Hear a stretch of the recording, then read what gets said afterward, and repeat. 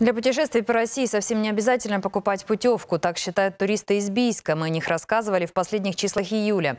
Напомним, четверо энтузиастов решили покорить Енисей на небольшом самодельном катере. Маршрут Кызыл-Салихард. Свой проект посвятили 175-летию Русского географического общества.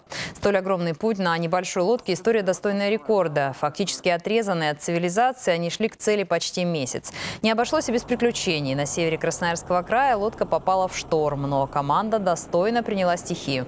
Сегодня путешествие завершено. Позади 6 тысяч километров по Енисею. По словам путешественников, больше всего их поразила природа России. Горы, тайга, дикая тундра. Саяно-Шушинский заповедник – это, вот, скажем, э, самые красивые места, вот, которые нам довелось проходить. И знаете, еще мне Хакасия чем понравилось, я впервые там был, да, я удивился, какие там тучные поля. Все говорят, э, житница это Алтайский край, но после этого путешествия мы понимаем, что и житница России, в том числе и Хакасия.